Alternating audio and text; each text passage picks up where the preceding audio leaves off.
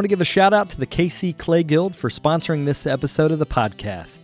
KC Clay Guild has been supporting ceramic artists and providing a space to explore clay in Kansas City, Missouri since 1988. The Guild is now accepting applications for their Artist in Residence program until April the 15th. This program is open to anyone who is looking to jumpstart their ceramic career. The Guild has been upgrading their already well equipped studio and will be adding a new Blaauw gas kiln in December of this year. Benefits include a private studio space, free firing, opportunities to teach, and an annual stipend. To find out more or to apply today, visit kcclayguild.org slash air.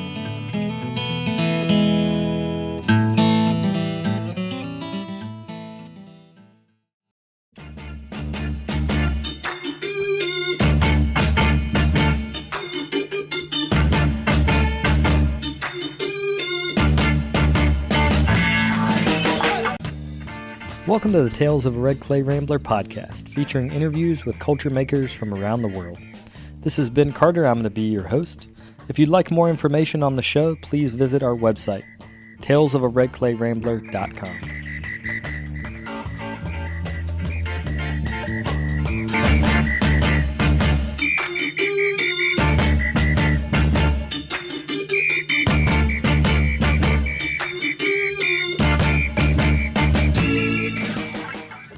Welcome back to episode 368 of the podcast. Thank you guys for tuning in.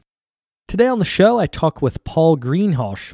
He's currently the executive director of the Sainsbury Center, which is a gallery and think tank that is connected to the University of East Anglia, where he is also a professor of art history and museum strategy. He's on the show talking about his new text, Ceramic Art and Civilization, we also spend a good bit of time talking about museum management and his time spent as the head of research at the V&A in London. To find out more about Paul, you can check him out on his website. That's paulgreenhalgh.net. You can also find him on Instagram at paul underscore greenhalgh underscore 1893. Before we get to that interview, I wanted to plug the Tales from the Vault podcast feed. This is exclusively for Patreon subscribers and features remastered ad free versions of episodes that are no longer available on major podcast servers. The whole first season has been remastered and is available now. To have access to that, you can go to patreon.com slash redclayrambler, where you can sign up to make an ongoing monthly donation. If you'd like to make a one-time donation, you can do that by visiting the website at talesofaredclayrambler.com slash donate. Without further ado, we'll get to the interview.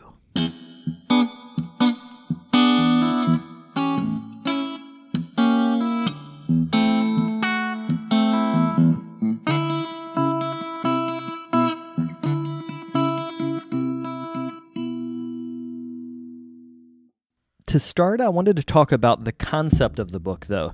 You had written in, in one of the early chapters that in ceramics, we don't have a tie that, that binds the, the greater historical narrative together.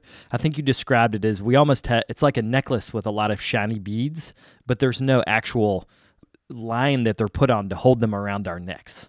So, can you talk about the concept for the book, wanting to write a larger history about the big picture? I think that the idea of this book really came from the idea of uh, teaching students doing ceramics programs and teaching ceramic over a long period of time and realizing that uh, there is a bigger story to this art, which probably hasn't really been told that clearly. And if we look at the other major arts like painting and architecture and areas of sculpture, there is a grand story which historians have articulated that kind of joins it all together, joins together the great periods and shows what the language of that art is. And in many ways, it occurred to me that uh, ceramic had a history which is uh, a bag of beads, many lovely individual things, but the bigger thread was hard to find. Like what does connect the ancient Greeks to the medieval, to the Renaissance, what ties all those wonderful potters in America now what ties them back to their own heritage and shows where it came from. Because of all of the arts, you know, arguably ceramic is the most ancient in the sense that uh, we have lots of it left. It doesn't deteriorate. And so uh, we have that sense of uh, history hanging over when someone sits down to make a pot. Uh, the oldest shards we now have are about 30,000 BC. So you're taking part in a big history uh, as you sit down in New Jersey or California to make a pot. You're taking part in something very grand and very uh, fundamental to being a human being.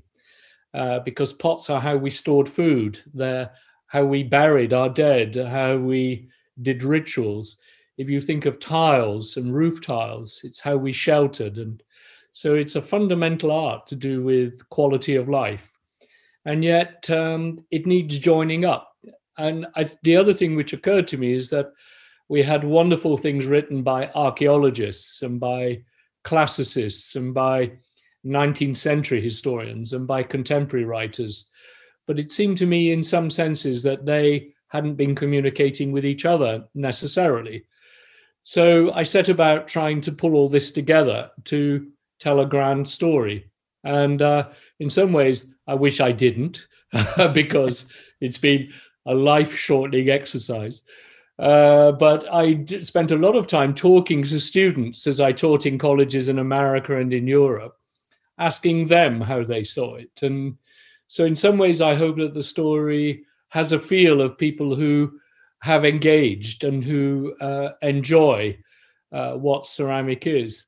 I think also in the States, we have that program, which I think began in the UK, the Antiques Roadshow, and uh, everyone is obsessed with it uh, uh, in the sense of what they really want to know is how much money is this thing worth? And uh, in Britain, they're far too polite to ask that, but in America, they always put they always put the amount at the bottom, and it kind of goes ka-ching because Americans are honest, and uh, but nevertheless, if you look at any one Antiques uh, Roadshow program, about half of it will be pots. And what's often interesting is that it will be ordinary, everyday people who got those pots that suddenly have become uh, rare and valuable.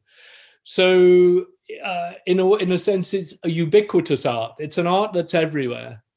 Uh, the most which has so far been paid for a pot, a gorgeous uh, ancient Chinese pot, someone paid uh, I think it was 53 million pounds about three years ago. I can't remember the exact number. Uh, that's a lot of money to pay for a pot. But we know that pound stores and dollar stores are full of it. So for me, that makes it kind of magical. The fact that I'm uh, sipping tea from a pot as we speak. So uh, I set about trying to write a different kind of history which isn't just about uh, great artists and uh, you know it's not a story in the same sense as how you would talk about Rembrandt or Van Gogh, as wonderful as those people are. It's somewhat different. Um, there are some potters who are a bit like Rembrandt or Van Gogh, but they tend to be in groups. They tend to it tends to be a team activity. It tends to be very close to ordinary street life. Uh, there's been a huge tendency for potters over the centuries to illustrate their pots, to put slogans on their pots. Uh, your favorite football team, your favorite pop star, your favorite political party, often very rude things, you know, compliments to people like Donald Trump, uh, and so on and so on. So uh, it's a it's a, a medium which has been on the street and among us, and occasionally rises to the very highest level uh, I think some of the pictures in the book are, for me, the greatest works of art, amongst the very greatest. And other things are not. They're things which we hold in great affection. And uh, from that perspective, uh, it's a fascinating history. So I was hoping to try and convey that. Perhaps um, talk about art in a different way.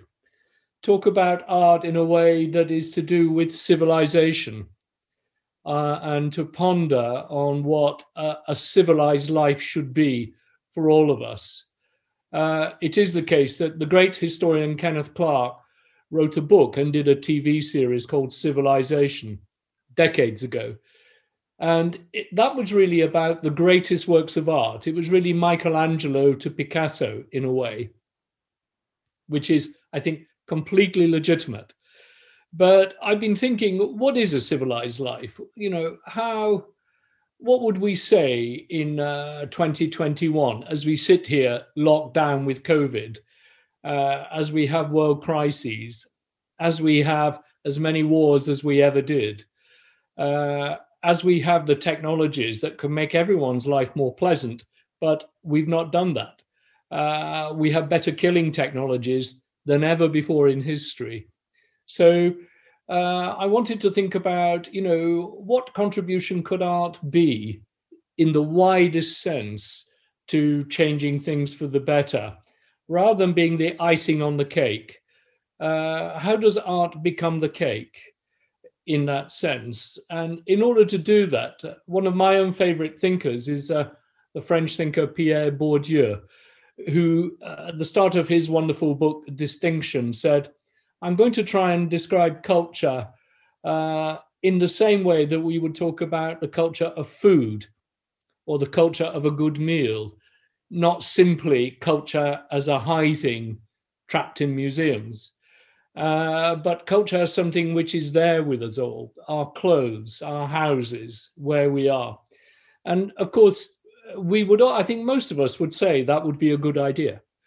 Uh, so, going forward in a world where we're going to be facing mass unemployment, where our high streets are disappearing, uh, where we appear now to have developed super clever global viruses that threaten all of us, the terrible tragedy uh, from my uh, from my point of view. Uh, one loves to travel, and I, I often think that the more that people travel and meet other people, the more that we'll stop having wars. If you get my meaning, the more we'll understand each other. But sadly, we we might be going into a world where we can't travel as we did because of. So I think time has come for us all to sit back and think about uh, what a quality life is. Uh, and uh, so that's that's an aim of the book. And uh, I describe ceramic as a domestic art, in the sense that clearly the museums are full of it, and you have masterpieces. It doesn't just mean it's in the kitchen, but the aim of ceramic was always from earliest times about quality of life. Interestingly. Uh, about what it was like uh, to live in, uh, you know, tiles, figurines, small figures. They're to do with domestic size sculpture. And uh, it's about art in the home. Uh, ceramic is cheap. You know, it's basically mud, you know. And I do say at one point in the book, it's very interesting that when invading armies in the past invaded a country, they would often take the potters themselves with them and get them to make pots in their own country. The Japanese did that, the ancient Romans did that. British very good at that. British very good at stealing people's stuff, but they would often take the actual potters. Uh, in other words, the material. You never got a situation where they took the goldsmiths and left all the gold behind. You know, they didn't do that. Uh, they took the gold. And uh, so it's very interesting, is it, that ceramic is to do with skill. It's to do with taking something worth nothing and making it worth something. So uh, one started to think about quality of life in that wider way of uh, i don't know i'm sure it's the case in the states that everybody over here is making their own bread now. You know everybody's dug a pond in the garden everybody's started to try and do woodwork and try and there's been a surge of amateur ceramic that is people getting involved because we're all trapped in our houses and we can't travel like we did and uh, I think we all like it. We like it.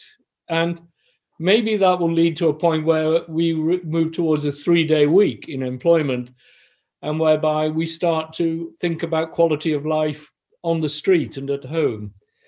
So, sorry, I'm going on, but I think that um, what I was trying to convey was that maybe there's a different way of thinking about art more fundamentally uh, and how at one level we can all engage and in skill we can all engage in uh, quality of life. And maybe uh, one of the aspects of ceramic which is so interesting is how profoundly international it was very early on it was an international industry uh, uh, well before the birth of christ thousands of years before the birth of christ uh, the ancient roman ceramic industry was like IKEA. It um, you could buy standardized pots, which if you you could buy pots made in different countries and they would stack. Uh, there was a huge market. Quality of life for people, you, you know, went up with this interesting international trade. Uh, and so one got a sense of uh, thinking back uh, to how ceramic has been in history and the good it's done and how we might uh, think again about culture more generally. Does that make sense? It does. Yeah, and one of the frameworks you used is to lay out four transformers that shifted both cultures around them ceramically, but also shifted larger cultures. So there was classicism, uh, China, uh, the Islamic world, and the modern era. So, can you talk about picking those four? Like, what makes those four time periods so influential to the rest of the global ceramic culture? Mm, it's very you uh, you've actually read it. It's very impressive. uh, I would say that when I I look try to look at the whole two and a half last two and a half thousand years from above to look down on it, it did occur to me that there'd been these kind of almost tsunami uh, uh moments where the world changed in ceramic and that it transmitted around the world surprisingly quickly and that and there were a small number of these uh, transformations that change the ceramic world pretty much globally and that you can still see the evidence uh, in now in contemporary those those things have hung around there's no doubt that the first one was the classical world effectively the greeks and the romans this is for the western tradition whereby they developed a way of making ceramic. Uh, they developed a way of consuming ceramic. They developed a way whereby a wide number of people had high quality vessels to eat and drink from. They developed ceramic which had interesting messages on, uh, illustrated. Uh, pop star, if, if, the equivalent of pop stars and sporting heroes started appearing. So uh, that moment changed, and uh, the classical trade carried those ideas all over uh, what is now Europe and right through the Middle East, North Africa, and right through uh, to the borders of China virtually. Uh, the second major wave that changed everything, I think, most dramatically, were, were the Islamic nations and the rise of Islam in the seventh century, and then the incredible speed with which the Islamic peoples, uh, driven by the uh, Arabs first of all, conquered an enormous chunk of the world. And they brought a very particular idea of um, sophisticated civilization.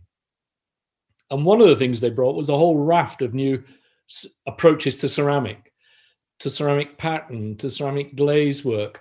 And there is absolutely no doubt that without them, there would not have been a renaissance uh, the Renaissance in Italy and Spain owes everything to what they learned from the Islamic potters, and uh, and again that that shift uh, of thinking about ceramic, you can still see it; it's still in evidence around, and uh, absolutely fascinating. And uh, there are records from Queen Elizabeth in England, her court, of them talking, and they were desperate to get Islamic ceramics from Africa into England in the 15th, 16th century is incredibly interesting. Anyway, that to one side. The third major wave was China. And we would maybe say that China is the most sophisticated ceramic culture, full stop. And uh, they were doing more with ceramic, and their ceramic technology was absolutely in front of everyone. And in effect, they flattened the world. Once, once that stuff started arriving in quantities, it came to dominate the world. Uh, they invented porcelain, which is a very particular, fine, uh, durable, very beautiful form of ceramic. And they developed that by about 900 AD. It was 1708, uh, 800 years later, before the Europeans worked out how to do it. So, through that entire period, we were being we were paying top dollar for Chinese ceramics because the Chinese were the only ones who could do it. And uh, again, it transformed everything. And of course, I, I'm sure it's the case in America, but everybody, you know, most people's mothers have a little cabinet where they keep their favorite bits of ceramic. And I put in the book that my mother loved those bits of ceramic more than she loved us. and, uh, and uh, you, you, know, but uh, they call it China, my best China. And you tend to forget it's a country. It's um, quality ceramic became so associated with the Chinese that we just call it China in this country. And I know it's a habit also in the States. My very best China. So those three strands transformed. And then the modern period. And that's really where America comes to play. Uh, I would say Britain and America dominated uh, uh, the last two or three hundred years in terms of um, developing a new vision of ceramic uh, not just wonderful new technology, but also the idea of the ceramic artist, of the individual who would set up and make ceramic as works of art, is powerfully an American story, uh, I would say. Develops in France and in the UK, and then taken to a great, great height. And uh, one of the great golden moments, I think, in the history of ceramic is the West Coast, uh, West Coast American ceramic there's great ceramic all over America, but it reached a tremendous peak there. And uh, so these four transformatory moments give us what ceramic is today. I, I argue, comes in waves. So it's it's not really an even history. It's a history in which there's dramatic change, and then everyone gets that, and then they move on, and then there's another one, and and so forth. Yeah, one of the things I like about the book is that when you talk about these large, you describe them as a tsunami. You know that they're these aesthetic and cultural influences are so powerful that they push through in other ways that that things like even war don't do. So, for instance, I, w- I wanted to talk about um, the Islamic influence in Spain, um, and specifically in in Meninces. Is that how you say the the, the town? It's outside of Valencia. How do you say that yeah, town? Maniz. Maniz. Yeah. Maniz. Okay, so that's an example of uh, a huge it was an Islamic territory. It was uh, a, a, aesthetic powerhouse. Like those those lusterware pots are just like mind bending. But it was a real blending of Islamic sense of pattern and at times a uh, European sense of Christianity. But what's fascinating is the pots blended in ways that the people didn't successfully blend. So there were wars to push uh, Islam out, but it didn't push the aesthetic out. The aesthetic outlasted even the political structures.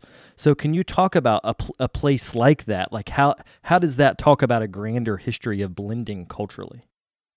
I think it is an incredibly interesting observation that quite often major armies take over a place and control it for centuries and then when they're gone, they're just gone. But frequently if they bring cultural interests with them, that remains and it remains uh, can remain a huge benefit. And so it was in 711 that uh, the islamic nations invaded europe proper. They landed in gibraltar and then they took spain. And they flattened spain very quickly uh, and moved over the pyrenees into france. There was a, a small skirmish battle there where they were held up. But really uh, the Europeans were incredibly lucky in the sense that had the Islamic, the various Islamic nations wished to carry on, I think there's little doubt they would have swept right through the whole of Europe at that stage. But they didn't. They kind of stopped at the Pyrenees and they controlled Spain for five centuries.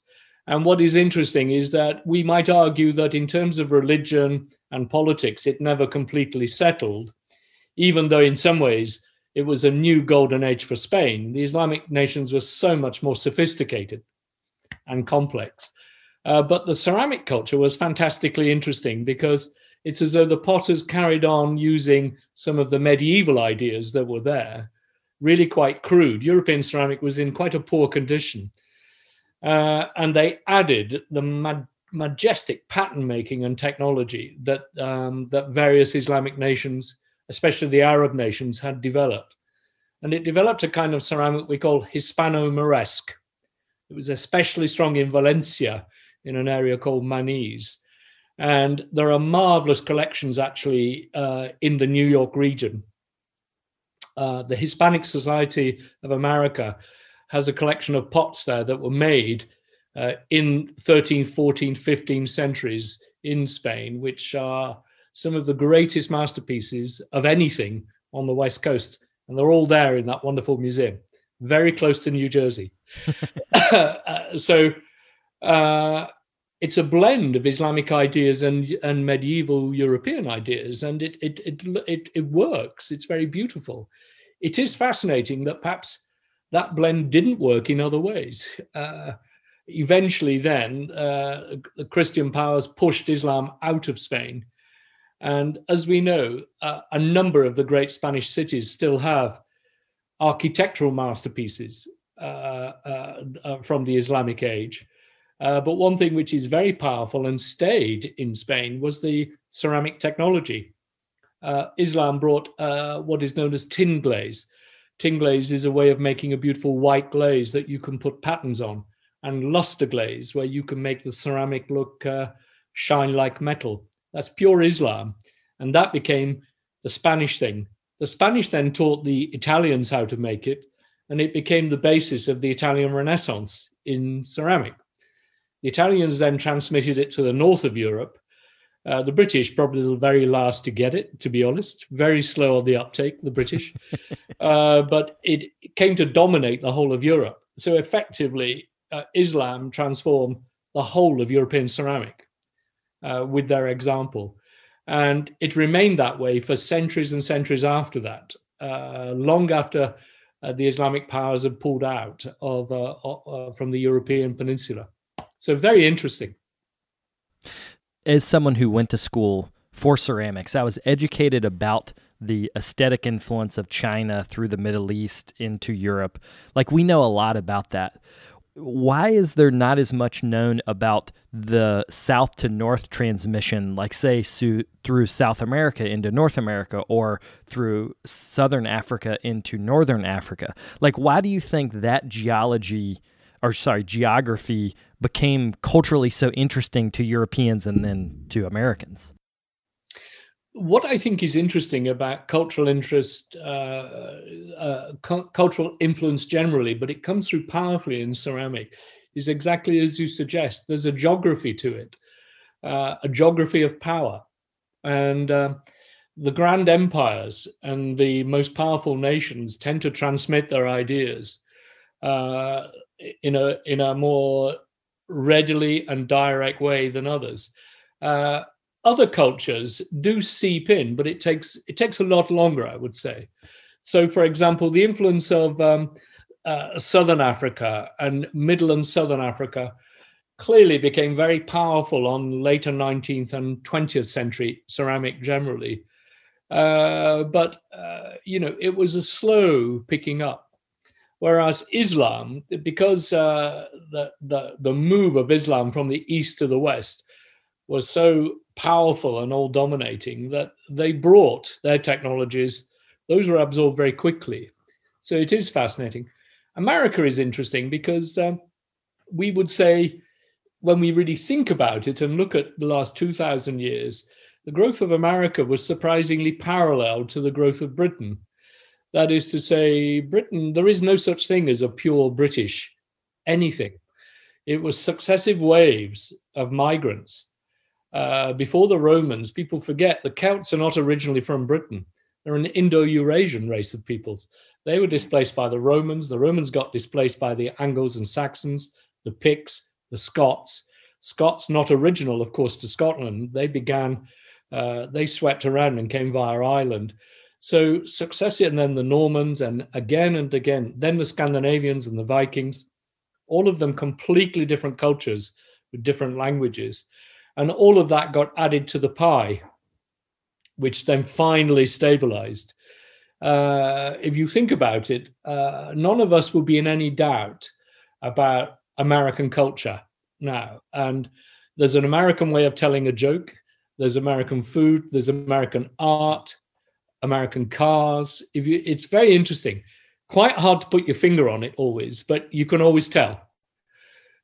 Fascinatingly, of course, uh, American culture. You, you, know, there were the uh, Native American peoples, and that's a that's a different and tragic story. But when we think of the migrant populations, it was a blending of dozens of different people that arrived at this kind of powerful common culture.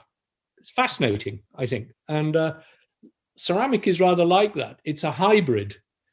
It's dirt cheap. It's well, it's literally dirt, and uh, so it's really reliant on skill of the uh, community and the artists who make it. Unlike gold, I mean, gold, a big lump of gold can be as ugly as you like.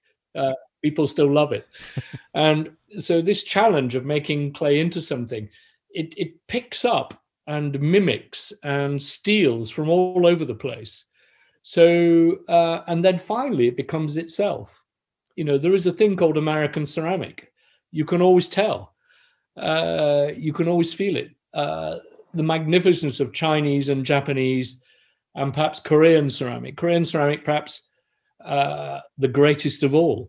Uh, but uh, as with the Koreans, uh, quite shy and unassuming. All these cultures developed a vision of ceramic that then got blended when they were carried around the world. It's fascinating. In that sense, ceramic is kind of like people. Every American has a little bit of about a hundred other cultures in them. Uh, probably literally via their DNA, uh, uh, but but in their cultural outlook, in the way they speak, and the way they are, and that attitude. Every American has that. Uh, and I would say, of all the arts, ceramic reflects that more than anything. There's a little bit of all, you know, the big four waves I suggested. Uh, you can spot them all, sometimes in a single pot.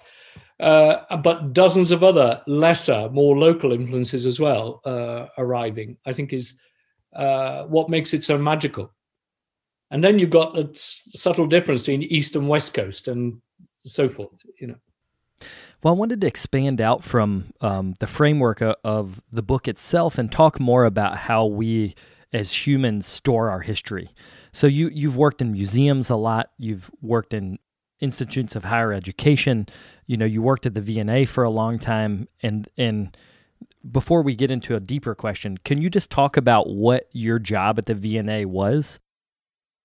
Yeah, I worked at the V&A altogether for about a dozen years, and uh, by the way, that counts as like nothing. You know, that means you've only just started for the, the. I had a wonderful colleague just retired after 48 years, and he thought he wasn't the longest serving. You know, so extraordinary place.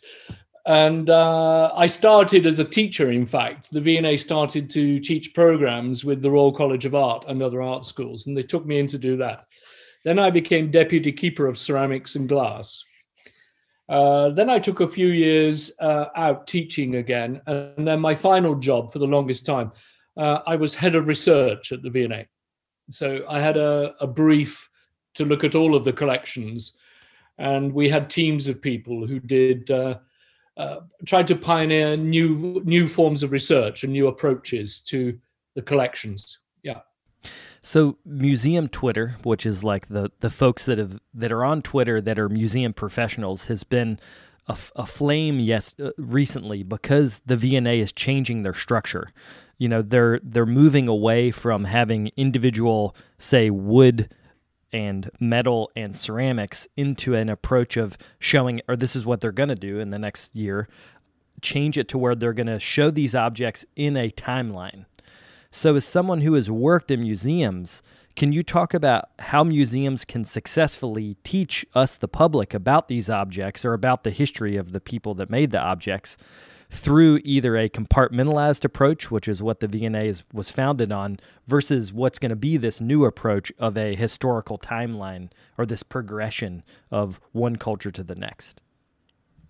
Uh, what I would say is that the the issue uh, the V&A has as an encyclopedic museum is exactly the same issue that the Met has in New York and many other of the grand big museums, whereby you have big collections of specific materials and you need expertise on those in order to know what they are to start with. Um, uh, and to be able to, with confidence, uh, identify and attribute so that that's known. But at the same time, all materials uh, change uh, from period to period, uh, and and all the different grand disciplines relate to one another. So, uh, for example, in my book, one one of the most interesting things about ceramic is it's the magpie of uh, of world art in the sense that it steals from everybody and then makes something different. So famously, ceramic st- stole from metalwork because they knew they could undercut them for price. So somebody makes a lovely silver cup, you make a lovely ceramic cup, and you can charge half the price, and there you are. So uh, all of the arts feed off each other. So the problem for a curator in a in a multidiscipline museum is is to do both things at once i would say to have knowledge of the specific materials and to have uh, knowledge of period so that you can explain so uh, there are reasons why an art deco cup looks different from an ancient greek cup and the differences are bound up in their society uh, which is different from their society uh, and so the museum has to have, I would say, multiple approaches to make uh, to make real sense. And uh, the V&A was founded on grand uh, materials-based departments: ceramics, glass, metal, woodwork, and so on. And that's very, very good for acquiring and knowing and attributing and knowing what you've got. But we would say in the last 50 or so years, increasingly the public wants to know wants to understand how these things fit into the world uh, what they're about how they work. And so increasingly uh, the V&A is not the only one. Most museums also have period based approaches so i would say that whilst this is a restructuring of the teams at the V&A uh, clearly the colleagues who work there are essentially the same uh, group of people there will be new people added, of course, there always are. Uh, and so uh, the emphasis now will be on period, but clearly they will also have an interest in the individual materials as well. So uh, it's a wonderful intellectual debate, and everyone's getting excited about it. But my my perception is uh, it it will continue. Uh, I would say I'm probably a reasonably typical product of that kind of place because I'm really a historian of say later 19th and 20th century, uh, 1880 to 1940. Much of my work has been in that period, which I, I think is a golden age in all of the arts. Uh, the early modern period is just incredible. Uh, and I've written a lot about that. But I've always loved ceramic, so I decided to step out and to take some time to write this this book, which I felt there was a need for. Uh, they're different modes of history, I would say, but uh, both very important. And uh, uh so that's really what's going on there, I would say. Uh, and we shouldn't, you know, we can't make light of the fact that um, what COVID has done to our museums internationally is is desperate. And I'm sure the colleagues are also now sitting back thinking, what's the best way we can keep the door open? uh, what's the best way we can carry on studying this material and and clearly that will be an element in it as well and uh, uh, we're all of us desperate to get our doors open again because for many of us it's how we make our income and and clearly for me uh, an object does not exist until someone's looking at it you know why why would you want a building full of stuff if the door's closed uh, it might as well not be there uh, so the museum colleagues have to protect and conserve and look after these things for us. Uh, but at the same time, until people are enjoying them, uh, they have no meaning. And so uh, we're in these very sad times. And obviously, our colleges and universities have a similar kind of problem. Uh, you know, until the students are back there, uh, the the thing loses its meaning. So strangest times for all of us. Yeah. Yeah, and the, and the thing I liked about people being angry at each other on Twitter about a museum changing its structure is that they care, and that uh, a little bit of a miracle.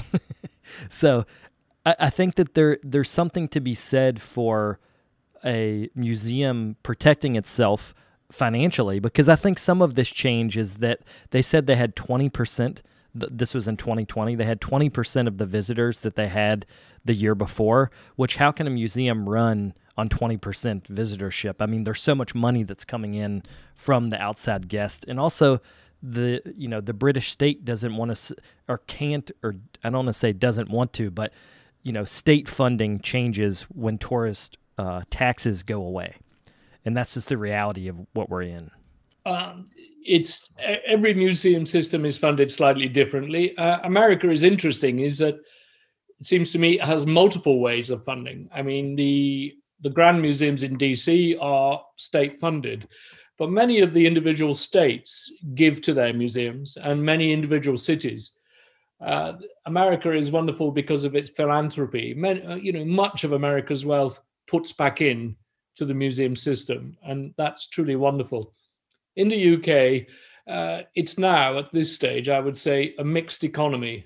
Uh, the government gives a certain amount uh, throughout the country. Quite often, the individual cities, city councils give a certain amount, but increasingly, you have to raise your own money, and you do it with your shop, your restaurant, and you do it with wonderful people who become attached to you and and support you and give you funding and you add all these pieces together and uh, aim to keep the door open. Um, likewise, uh, quite a lot of the system in the UK and the, the museum uh, I'm executive director of, the Sainsbury Centre, the permanent collections are free. So you can see that uh, without paying anything. But when we do uh, a major temporary exhibition, we charge for that. And that, that tends to be the system uh, the British nationals use that you see the permanent collection for nothing, so everyone can go to the museum, uh, and they then uh, we charge for the special show. And the reason for that is that if we didn't, we couldn't do it. You know, it's. Uh, I'd love to give everything away for free in life, but we all know you cannot really do that uh, always. So that's the system we're using. So we're uh, at the Sainsbury Centre enormously dependent on visitors uh, buying a ticket for the special show, drinking a cup of tea, obviously UK, always tea, sometimes coffee, uh, and to buy something in the shop. Uh, I think it's up to about uh, around about 25% of our income is earned that way now, uh, perhaps a little more, and that will continue to go up. So uh, all of us are dependent on getting open again and getting moving again uh, through COVID. Uh, there will be casualties in America and in Europe. There are bound to be uh, museums that don't survive this moment, and that's um, that's sad for all of us. Uh, and I agree with you. I kind of enjoy it when there's huge debate and big fights around a museum, because you know that they, you know, you know that they love you. They want you to be there and that it's like having someone in your family that you're fed up with. Um, uh, it's because you love them, and um, uh, it's wonderful that people care so much about the museums. I might add, I noticed that the debates, uh, a lot of the Twitter is from America, uh, uh, which is fascinating. And likewise, you know, the greatest museums in America, uh, one loves those places many of the pots in my book are from the great American collections and uh, wonderful things. Yeah. Can you talk about being a professional who has a, either a museum career or um, you've been the head of, of, a, of a university? You know, there you almost have two parallel tracks going at all times, it seems. There's your research and your writing, and then there's your museum directing or gallery directing or school directing how do you actually manage this? Like, when do you sleep? Because you you have a consistent writing practice through running major major institutions. It's very kind of you to say. I would say that uh, in my own career, I it dawned on me early on that for me, um, the physical presence of uh, of the art itself was incredibly important to me. So I've quite rarely worked as an art historian in a in a university department where there is no collection. Uh, or alternatively, I've chosen to work with practitioners and um, uh, to be amongst ceramic uh, people. I obviously love the history of painting as well. So I've either opted to work in art schools uh, or in museums, I, either where it's being made and the artists are, or where the where the finished works of art are. I've I've always opted to do that. And then over the years, you know, uh, increasingly one got to a point where you were running places sometimes. And um, what I tried to do was always to keep a thread of my own work going, because in my case, it occurred to me that um, that if you were trying to practice yourself, you were trying to write, you were trying to think about things, it could only help how you managed a place uh, that you, uh, in order to, the only way you can really run a place, in my view, is that if you empathize uh, and have empathy for the things that you're running and that you stay close to them. If you're going to run an art school, you've got to have a sense of what it is to be an art student, especially uh, at this point in time. It's a very brave thing to study uh, the arts at this point in time because you've got no guarantee uh, of life ahead. Uh, you never did have a guarantee, but it's harder still.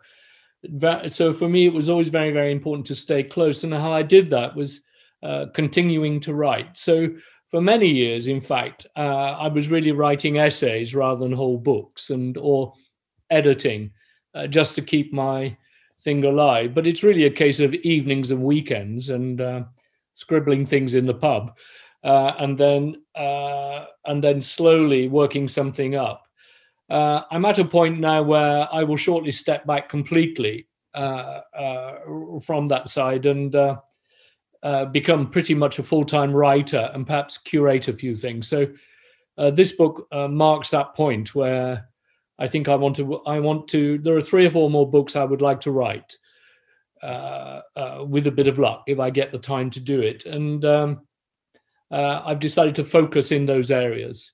So I will still be doing some curating and some uh, consulting, and uh, I always enjoy teaching, especially uh, practitioners. Uh, it's a great joy. Uh, I always thought that I learned more by uh, teaching students and feeding off their energy, and and often they have incredibly unusual points of view that never occurred to you. Uh, so you learn when you teach, I think, and uh, so I will do some of that, and then hopefully focus more or less on on writing. But I do believe that even the person in charge, uh, it's a good idea if it's if it's possible. It's not always possible, if you can, to make some time uh, to engage yourself in practice. It's not always possible, but if you do that, you go. It's um, it's a humbling process. You're teaching art students, good idea to sit at home sometimes and draw. Remind yourself how impossibly hard it is. Uh, you don't need to show anyone. It's just good to remind yourself how difficult it is. And stringing together sentences is very hard. You know, it's tricky. Very good, very humbling to do that. Uh, uh so that that's really uh, been my view of uh, my view of uh, professional life. When I first opened the book, I was surprised at how the writing style is it, at one point dense and at another point very accessible. And some of that has to do with the structure. So each chapter you've broken up into small chunks. So for a student that's, you know, a complete beginner to ceramics, they might not read it, you know, start to finish, they might, like for me, I instantly opened the book and went right to the Transformers section because that was the section that I could grasp the fastest.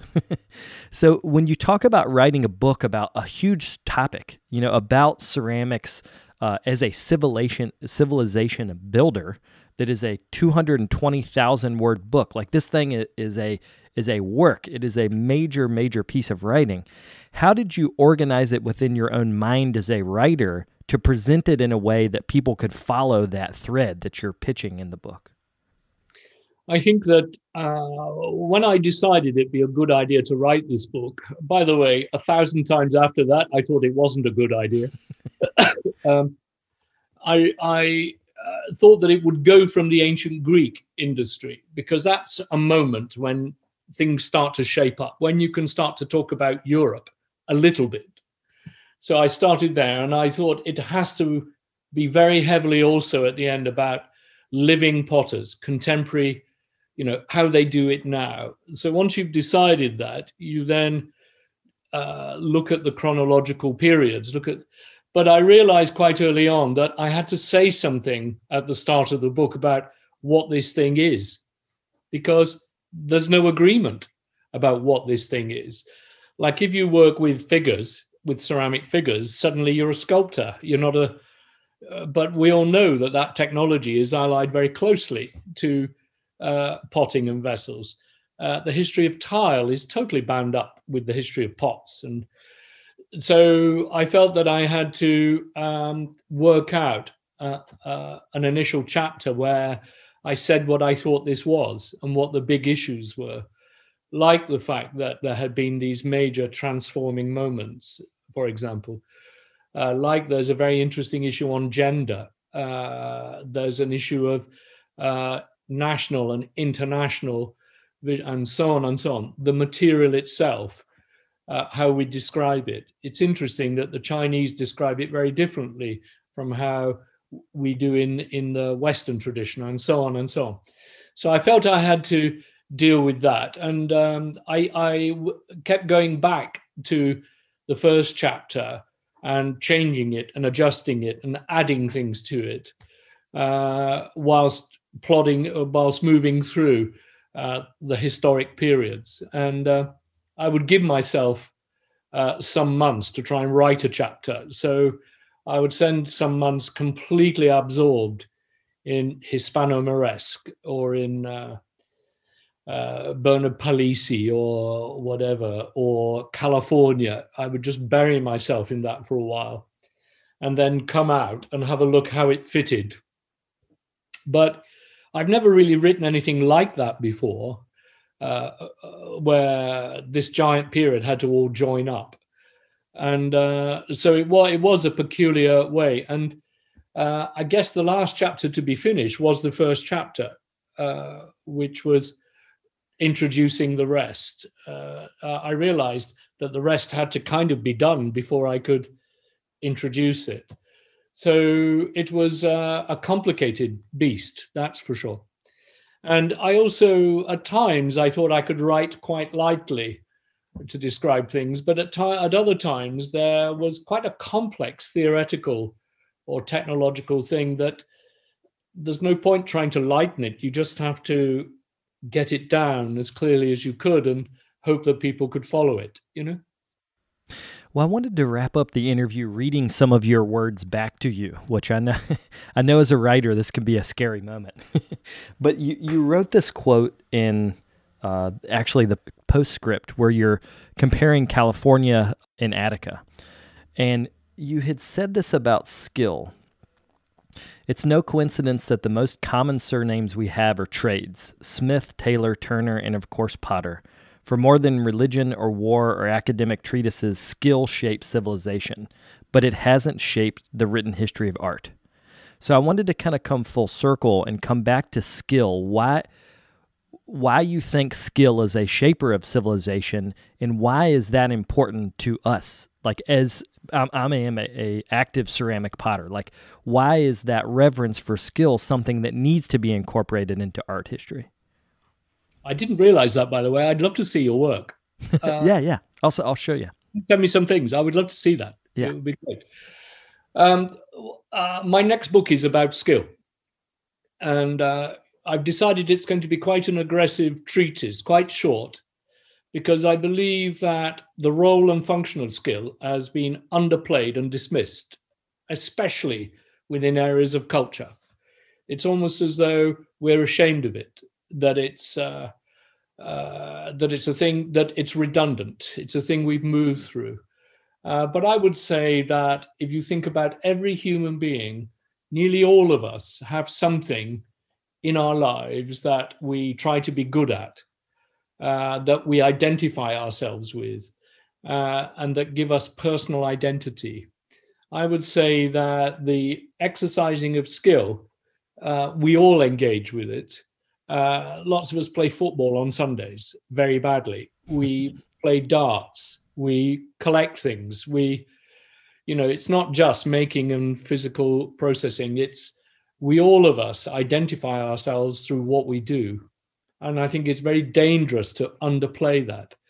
And I think what is very, very important is that we encourage, uh, as it were, uh, an elite also. That is, I think we all benefit from the fact that Exekias in ancient Greece and uh, Bernard Palissy and Peter Voulkos and Bernard Leach, we all of us benefit that these people gave their lives and produced exemplary examples for us. And the rest of us have bench, the rest of us can engage, for example. So I think that the social role of skill, how we give ourselves personal satisfaction and how we group as communities.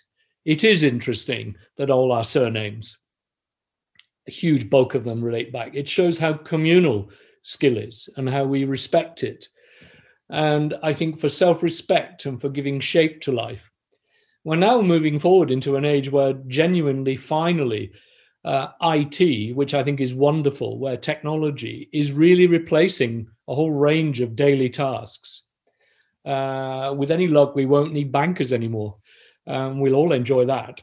But uh, the way that we do so many things in life uh, is being taken over. And I would argue that gives us all time uh, to do something skillfully. Uh, we all tend to prefer handmade food. We all like the idea of, of, of good quality food. We all like the idea of good clothes and uh, so the reality is that right across the piece, we could be taking more time to engage in the quality of life. You know, why are we making crappy buildings that have to be demolished 30 years later? You know, you know, the cathedral in the middle of this little city has been was started in 980. it's been there 900 years. It still looks pretty good. Uh, the entire town's been demolished 100 times over around it in over the last 200 years. So why don't we build things properly? Why don't we make our cities properly? Why don't we engage? Why don't we all uh, have fewer things which are well made? Now, these are philosophical debates which have been had for the last hundred years, but I think they're more important now than ever because we're also destroying the planet with cheap throwaway rubbish. And the one good thing about ceramic is that yeah, there are mountains of broken pots all over the world, but they don't hurt anybody. And uh, you know, replacing ceramic, uh, replacing plastic with ceramic again is not a bad idea. For example, so uh, I would say that thinking about skill and civilization is back very powerfully, and I suppose that's what I was trying to uh, imply I would say that there's something peculiar about a written history of art that focuses almost entirely on two or three different disciplines. It's not a coincidence that they're also the most expensive uh, and the ones that the uh, marketplace values, like areas of painting and certain areas of sculpture. What I would say is that we need to, yes, think about art as a big creature, much wider and to equalize it out far more. So now I'm far from the first person to say this. Great historians have been saying it for a hundred years, but I think it's never been more relevant. The lovely thing about quite a lot of those ancient Greek pots is that they were very cheap in their own time. And uh, the I'm a very lucky boy. The there's a little pot with an owl on it, an ancient Greek pot with an owl. It's in the book. That's mine. Whoa, I know that pot. Yeah, it's a beautiful pot. And they were incredibly common because the owl was the symbol for Athens. Uh, it was the city's symbol. And they made those pots not least for the Panathenaic Games. In other words, they were little drinking mugs. So it's a sports mug, is what it is. and uh, and the the and they were very cheap in their own time, and there are there are a lot of them still around, and a lot of them are quite intact because they were buried with their owners. So it's kind of like being buried with your team's mug. uh, how many people would millions of us would still do that? And it ties you up to the ancient Greeks, and it shows that that beautiful thing was easily buyable in its own time. Not dirt cheap, you know, it's nice, but you know, you have to pay a bit more, but it's beautiful. So I think there's a politics and an economics of culture again. And for me, it, it moves around this idea of skill and how we're proposing to re-skill. You know, we all spend our lives looking for builders and looking for plumbers, and they tend to be older and older and older because the apprenticeship used to be six or seven years. That's not to disparage young plumbers and young, uh, but we seem even on a basic level of society to have um, put away the idea of skill as being less important, but actually it remains very important in daily life. You know, the idea that we would say that skill isn't important in football, that would that wouldn't you, know, we understand it in sport. We understand how important skill is. We need to understand how important it is right across the face of culture for all of us. Uh, uh, it's to do with human dignity, I think, isn't it? And uh, how we think of ourselves and how we relate to each other. That's why Smith and Potter and Turner, uh, in my view, became the most common surnames. Uh, it's because we had traditionally had respect for those things. Anyway. Well, to wrap up, can you leave away maybe your Instagram handle so that people could contact you if they had any questions? And also, can you plug how people can get the book? Uh, yeah, well, uh, the book is available from Bloomsbury on the site. It's uh, available on Amazon as well. So it, the book is widely available. And uh, on my Instagram, I can't remember my address. It's I think it's Paul Greenhalgh 1893. It is, yes. Yeah, right. Sorry, yes. and I'd be delighted to catch up with with folks there. And there's paulgreenhalgh.net now as well, uh, a website. Well, thank you for taking the time to do this. I really appreciate it. And well, lovely to speak with you. Always nice to talk with a Potter.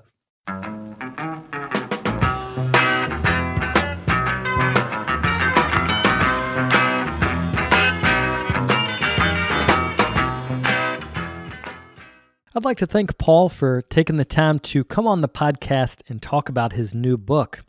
If you'd like to get a copy of the book, Ceramic Art and Civilization, you can do that wherever fine books are sold. If you'd like to get in touch with Paul, you can do that through his website. That's paulgreenhalgh.net. Also, wanted to thank this week's sponsor, the Kansas City Clay Guild.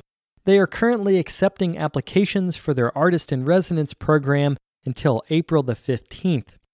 The benefits for the program include a private studio space, free firing, opportunities to teach, and an annual stipend.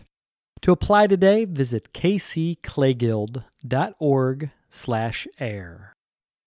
I'll be back next week with another episode. Thank you guys for tuning in.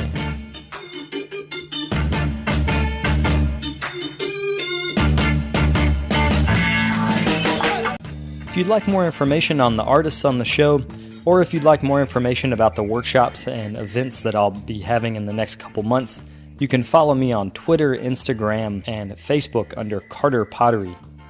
Another great way to support the show is to leave me a comment on iTunes. To do that, search Tales of a Red Clay Rambler under iTunes Podcasts, and you'll find a page that's linked to our show. Thank you guys for the support.